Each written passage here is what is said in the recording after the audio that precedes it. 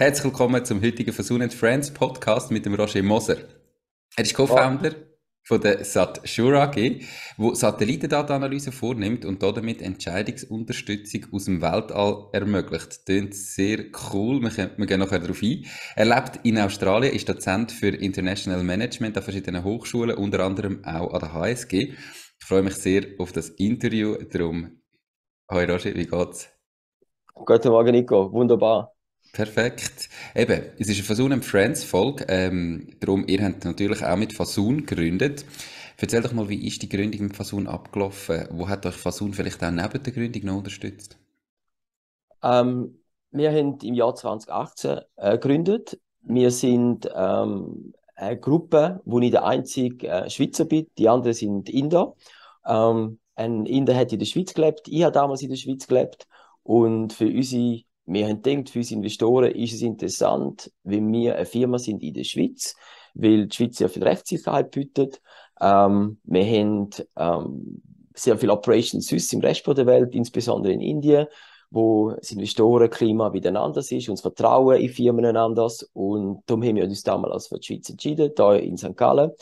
Und Fasun ist einfach für uns, nachdem wir ein paar Sachen durchgeschaut haben, der absolut vertrauenswürdigste Anbieter gewesen. Er hat ganz klar kommuniziert, wie sie uns helfen können, in welcher Form. Und auch, äh, als ich mit dem Walter geredet habe, habe ich verstanden, wie flexibel sie sind. Und so haben wir dann mit ihnen den Prozess da äh, durchgelaufen, eigentlich ganz normal mit den klassischen Statuten aufsetzen und so weiter, weil, obwohl ich Dozent bin für ganz viele Sachen im Management, sind die rechtlichen Sachen etwas, wo du einfach Detail musst kennen. Und da haben ich nicht können, da haben meine Geschäftspartner nicht können. Und so haben wir uns eigentlich permanent können auf Fasun verloren. Perfekt. Ähm, das ist jetzt alles noch der Gründungsprozess. Ähm, haben ihr dann auch nach dem Gründungsprozess noch Unterstützung gehabt von Fasun? Und wie ist das abgelaufen? wir haben ganz viel Unterstützung gebraucht, weil wir haben jetzt über die letzten paar Jahre zuerst eben gedacht, wir haben einen grossen Investor aus Japan, wo äh, da in die Schweizer, unsere Schweizer Einheit will investieren. Das hat sich dann schlussendlich nicht materialisiert. Äh, dann haben wir Sachen müssen anpassen vom Aktionarat. Ähm, wir haben unser Legal Setup müssen anpassen, leicht, weil der Markt sich permanent ändert. Die Investorenszene sich mhm. immer wieder ein bisschen geändert hat und wir haben so viel immer wieder kleine rechtliche Anpassungen müssen machen, wo wir eben wir als Gründer einfach das Wissen nicht haben. Und dann brauchst du einen Partner wie Versun, wo aus meiner Sicht extrem flexibel ist. Und sie machen ja sehr viel Gründung, also sie haben die Expertise, äh, Scale-up, aber ähm, Betreuung ist so persönlich immer gewesen, dass ich immer denke, wo nehmen die Zeit her? Und, und da ist etwas, wo, wo, wo ich von uns sehr schätze. Die, die eben immer Fragen haben, erstens sind die Antworten schnell, und zweitens wirklich nicht irgendwie zu einer Fakt-Webseite da, frequently asked questions, äh, schauen mal zuerst nach, sondern hey Roger, schau, bei eurem Case ist das so und so, wir stellen euch Folgendes vor. Und dann habe ich es auch verstanden. Mhm. Perfekt. Hat sich also definitiv gelohnt. Jetzt hast du ja vorher gesagt, eben, ihr habt das Gefühl gehabt, äh, in der Schweiz gründen macht Sinn, äh, weil es relativ rechtssicher ist und auch im Konstrukt mit vielen Inder. Ähm, wie schätzt du das Gründungsland Schweiz? Du wohnst ja jetzt selber in Australien. Ähm, wie sieht das Gründungsland Schweiz für dich auf, auch gerade im Thema Investorensuche? Also wir haben auch in der Schweiz Investoren gesucht. Ähm, wir haben aber, ich sage jetzt mal, ein Geschäftsmodell, wo weltweit funktioniert oder primär auch in anderen Weltregionen außerhalb von Europa. Und dort ist halt schon das Problem, äh, wenn ich dazu sage, was der Bau nicht kennt, frisst er nicht. Und wie bei den Investoren auch, wenn sie etwas nicht kennen, wenn sie es aus ihrem Background nicht genau verstehen, dann investieren sie auch nicht. Mhm. Und schlussendlich sind wir dann auch auf, auf indische Investoren zurückgegangen weil die dann halt auch das Geschäftsmodell besser verstanden haben und können abschätzen, was Potenzial ist. Und so haben wir dann halt auch unser, unser Legal Setup in der Schweiz dann wieder angepasst, mit Fasun. Und ich behaupte, der, der Gründungsort, der Standort Schweiz ist, ist passend, wenn das Geschäftsmodell auch für die Investoren nachvollziehbar ist. Mhm. Und ansonsten, eben, da habe ich auch gedacht, ja, wäre es vielleicht sinnvoll, man wäre nach Amerika gegangen. Ach, I don't know. Ne? Im Nachhinein ist man immer schlauer. Okay, erzähl mal schnell. Äh, eben, ich habe das Geschäftsmodell kurz probiert zusammenzufassen, indem ich gesagt habe, Satellitendatenanalyse vorne und damit Entscheidungsunterstützung aus dem Weltall ermöglichen. ja. Erzähl mal, was ist jetzt genau euer Geschäftsmodell? Wie verdient ihr Geld? Ähm, also erstens mal, wir verdienen Geld, das ist schon mal wichtig, das ist nicht immer klar bei einem mhm. Startup. Ähm, das Zweite ist, wenn, wenn zum Beispiel Banken in Indien oder in, sonst in Emerging Markets äh, Darlehen rausgehen, äh, ich sage jetzt mal Bauern mit nicht allzu viel Einkommen, mit, wo keine Kredithistorie haben, dann ist es sehr schwierig zu abschätzen, wie viel Darlehen können sie an einen Bauer geben. Ja, und dann müssen halt die äh, Sachbearbeiter, wo die Anträge bearbeiten, müssen dann oftmals rausgehen ins Land, da, da Land anschauen vom Bauer, ist der überhaupt da und so weiter. Und böse, fast schon mit den Nachbarn reden, du, was hat er letztes Jahr da abgebaut und ist erfolgreich gewesen. Da kostet extrem viel Zeit und tut auch Finanzierungskosten für Bauern in die Höhe treiben. Und was wir im Prinzip machen, ist, äh, wir nutzen Satellitendaten, ähm, können da auf das Feld von dem Bauern abbrechen, ist ne, vereinfacht gesagt, und können die letzten paar Jahre anschauen, was der Bauer angesagt hat, wann er ähm, nachher können ähm, ernten. Und wir kennen ja die Marktpreise, wir wissen ungefähr, wie viel Geld ich muss rein investieren, damit er da überhaupt kann nachher, äh, verkaufen. Und so können wir abschätzen, wie viel das er verdient. Und dann der Kreditsachbearbeiter der Bank mal gar nicht mehr raus, sondern kommt für uns Analysen über, hey, so und so viel ist der Landwert oder mit dem kann man da einen Tag generieren. Und dann kann der, der Kreditsachbearbeiter relativ schnell und äh, mal, ohne Einflussnahme, ohne Korruption entscheiden, äh, ah, ich habe dem Bauer 2000 Dollar äh, als Darlehen dem 4000 Dollar und so weiter. Und wir leben halt von, dem, von der Transaktionskostenreduktion, die wir für Banken äh, da schaffen. Das ist jetzt äh, eben gerade ein klarer Case mit der Bank, wo, wo einfach verständlich ist. Haben ihr auch noch andere Geschäftsfelder? Die muss ich jetzt nicht so detailliert erklären, aber oder sind ihr wirklich jetzt auf das fokussiert? Nein, also die, wir sind eigentlich, wir reiten auf dieser Welle von dem, von dem, was sagen, Earth Observation, ne? also von Satelliten, wo die Welt beobachtet von oben. Ähm, da kann sie äh, Infrastrukturüberwachung, da kann sie Climate Change. Wir können mit unseren Satelliten zählen, wie viele Bäume sind gepflanzt worden, wo wachsen sie, wo wachsen sie nicht. In Dubai tun wir Dattelpalmen überwachen, ob sie gesund sind oder nicht. Weil das mhm. sind äh, Investitionsprodukte, bös gesagt. Und so können wir eigentlich mit, mit dem, im Prinzip überall Transaktionskosten reduzieren, indem wir Leute rausnehmen aus dem Prozess und durch Satellitendaten ersetzen. Mega spannend. Ähm, eben, du hast selber gesagt, ihr seid vor allem außerhalb von Europa tätig, weil in Europa, äh, ja, kennt man da besser, ist die Fläche gar nicht so groß meistens. Ähm, auf welche Märkte konzentriert ihr euch da denn jetzt genau und warum genau die Märkte? Also unser primärer Markt ist Indien. So, da, das ist ganz klar. Ähm, dort ist auch die Digitalisierung von der Banken weit vorangeschritten. Da kommen wir hier in Europa gar nicht mit über. Äh, gerade letzte Diskussion mit Banking-Experten in der Schweiz und dann haben sie mir ganz stolz ihre Apps gezeigt und so und dann habe ich ein bisschen müssen lachen, weil ich gesehen was indische Banken auf einem ganz anderen Niveau schon machen. Und ähm, aus uns Südostasien aber das kommt langsam, weil dort die Banken, unsere Kunden sind noch gar nicht so weit, dass sie unsere Produkte können sinnvoll einsetzen können. Dann haben wir aber auch wieder müssen realisieren, ah, wir sind schnell für den Markt. Dann, unsere Kunden in gewissen Weltregionen sind noch gar nicht so weit. Ja. Mhm. Aber wir haben genug zu tun. Das ist okay. Okay, spannend, äh, cool. Jetzt, in den ersten Jahren haben wir ja ohne Investoren geschafft. Ähm, ich gehe davon aus, dann haben wir da nicht eigene Satelliten im All, sonst äh, wäre das wahrscheinlich nicht möglich gewesen. Und irgendwann haben wir aber gleich gesagt, jetzt brauchen wir Investoren, jetzt suchen wir.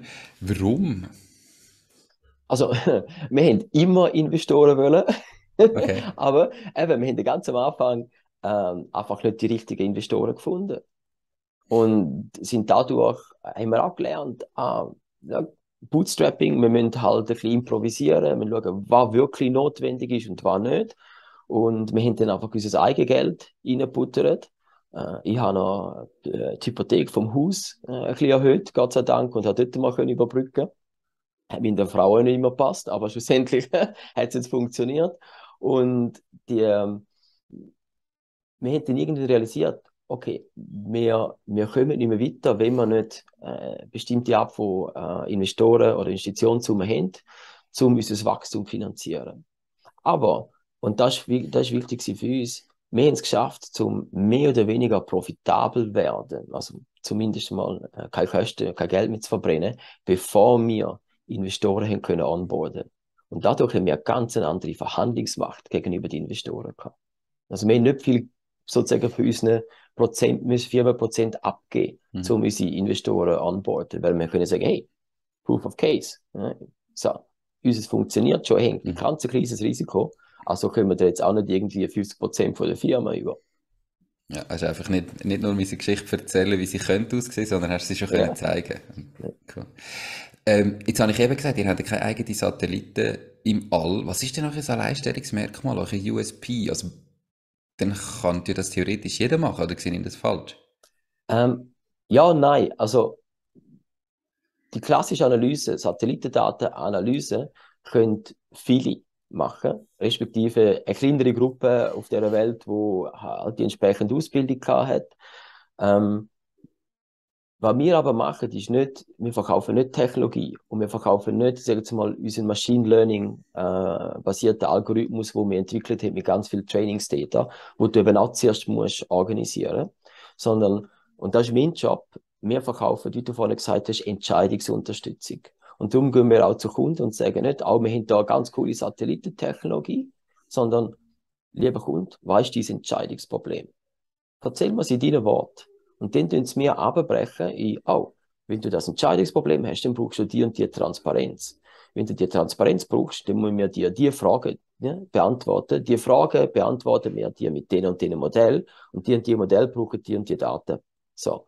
Und der Kunde hört eigentlich schon auf bei, wir haben da ein Entscheidungsproblem und ah, die Frage wird die beantwortet haben und alles andere überlässt er uns.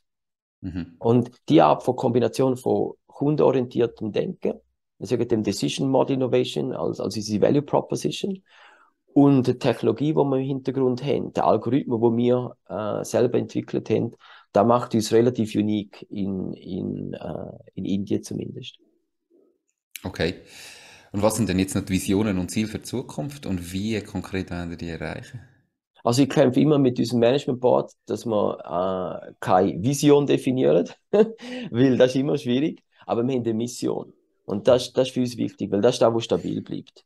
Und allein sich auf Daten einigen ist äh, meines Erachtens extrem wichtig für, für, für Startups. Wieso? The reason to exist.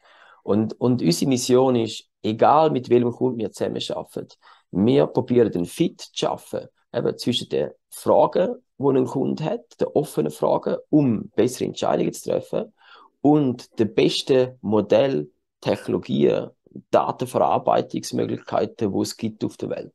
So. Und im Moment eben schaffen wir im Agriculture-Bereich in Indien, wir schaffen aber auch im Aerospace-Bereich, also wir schaffen auch für Airports, äh, völlig anderes Feld mit anderen Technologien. Wir wachsen aufgrund von dieser Mission. Mhm. Und das ist eigentlich da, ähm, vielleicht im Anklang an die Vision, natürlich wollen wir äh, mit unserer Entscheidungsunterstützung auch einen Beitrag leisten, dass wir Probleme von dieser Welt besser können lösen Und das ist da, wo unsere Mitarbeiter auch, auch motiviert, wo wir sagen, wir schaffen primär für Institutionen, wo, wenn sie bessere Entscheidungen treffen, dass sie eben, zum Beispiel einem Großteil von der ländlichen Bevölkerung in Indien können helfen. Mhm. So. Und so probieren wir eigentlich unsere Mission mit einem gewissen Impact zu verbinden. Aber wo die Reise genau angeht, das ist etwas, was wir von Anfang an gelernt haben, das kannst du eh nicht groß bestimmen. Das, ja, da gibt es Möglichkeiten, da zeigt der Markt und da haben wir uns, behalten wir uns einfach flexibel und darum probieren Vision zu verhindern, weil sonst rennst du immer dieser Vision nach, obwohl der Markt vielleicht in eine andere Richtung geht. Okay, spannende ähm, Ansicht. Es gibt ja ganz viele andere, die sagen, die Vision ist das Wichtigste. Ähm, spannend, ja. mal, mal diese Seite zu hören. Jetzt habe ich vorher gesagt, du lebst im Moment in Australien, bist Dozent für International Management, auch an verschiedenen Hochschulen. Ähm, warum hast du jetzt neben dem dich noch selbstständig gemacht oder noch dein eigenes Ding gemacht und ja eben Hypothek erhöht, also irgendwie auch Kapital riskiert, investiert? Was ist der Reiz an der, am Unternehmertum für dich? Ich glaube, ähm, Schöne äh, für mich ist es, äh, ich habe ganz viele Ideen als Dozent. Oder? Ich unterrichte International Management, Strategic Management. Ich habe im Bereich Supply Chain Management meinen Doktor gemacht. Also auch dort äh, an der Uni sind es ganz viele Schwierigkeiten, mich irgendwo in so einen, in einen, in einen, in einen Topf hineinzutun oder in eine Schublade. Und für mich ist es wichtig, wenn ich an der Uni schaffe, dass die Ideen, die ich probiere, den, den Studierenden überzubringen, dass ich kann fast beweisen, dass es funktioniert. Und da ist für mich eigentlich auch der Reiz, äh, jetzt wie Sature mit, mit diesem Decision Intelligence Ansatz. Das ist etwas, was wir seit Jahren entwickeln. Äh, und, und ich kann es zwar auf Papier schreiben und kann sagen, hey, da ist mein Paper, aber das ist immer noch eine Idee. Aber wenn ich kann sagen, hey, da ist die Idee und hey, by the way, mit der Firma sind wir extrem erfolgreich, weil wir genau da umsetzen, hast du ganz eine andere Glaubwürdigkeit. Und für mich ist es dann auch da, wo mir wirklich Spaß macht. Dass ich kann beweisen, dass die Idee, die wir entwickeln, auch in der Realität funktioniert. Ja, finde ich, sollte jeder Dozent irgendwie müssen. Ähm, macht definitiv, definitiv Sinn.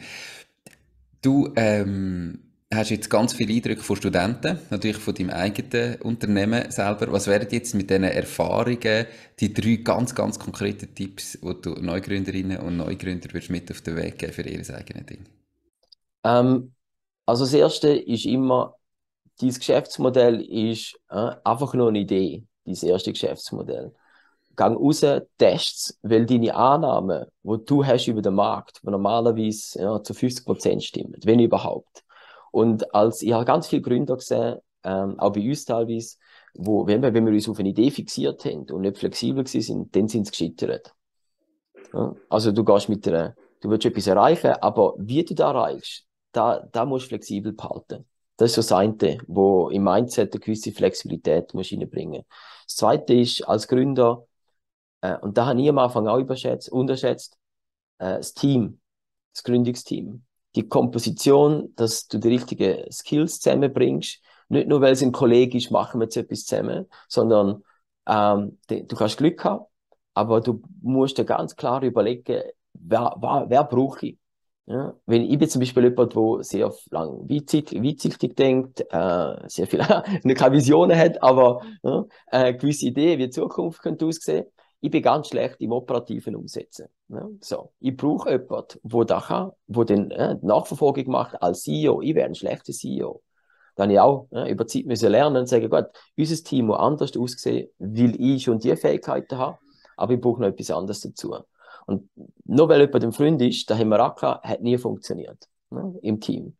Und das Dritte ist vielleicht wirklich auch jetzt aus der finanziellen Sicht, ähm, man kann eine Firma gründen, man kann Ideen testen, ohne dass man schon all in geht am Anfang. Weil das Problem ist oftmals, ah, ich habe die eine Idee, will ich umsetzen und dann jetzt stoppe ich alles an, jetzt mache ich da und dann geht es schief und dann haben wir mit Pech sehr viel verloren. Aber aus dem Prozess hat man dann eigentlich sehr viel gelernt und gesagt, oh, jetzt wüsste ich, wie ich es wirklich machen muss. Und dann ist aber spät, weil dann äh, für ein paar Jahre die Finanzierungsmittel, die finanziellen Mittel vielleicht aufgebraucht sind und dann, bis man sich erholt ist die Idee schon wieder äh, nicht mehr da und ist älter. Und darum ist am Anfang, obwohl da auch viele nicht sagen, hey, du kannst da auch nur Part-Time vielleicht machen, einfach zum Testen. Schauen, ob es da wirklich passt. Eben aus Team testen. Sind alle wirklich committed? Und lieber ein halbes Jahr oder ein Jahr später full Team gehen. Aber dann wüsst, dann hast du Team da, du hast viel schon gelernt bevor du am Anfang schon äh, eben die von, von der Euphorie leiten lässt und am Endeffekt hast du vielleicht äh, dann noch zu wenig Erfahrung gehabt, aber zu viel Geld verloren und dann würdest du gern, könntest mehr, aber dir fehlt das Geld. Und da haben wir, glaube ich, oftmals äh, als, als großes Problem. Definitiv. Drei super ja. Tipps. Ähm, merci viel, viel mal. Man merkt, du hast dort die Erfahrung selber gemacht, aber natürlich eben auch die Erfahrung von ganz vielen Studenten reingebracht. Hey, merci viel mal für deine Zeit, Roger, für das spannende Interview. Ähm, ganz viel Erfolg weiterhin mit der mega spannenden Geschäftsidee oder dem spannenden Unternehmen und alles Gute für die Zukunft. Mach's gut. Danke, Nico. Bis bald. Ciao, ciao. Tschüss.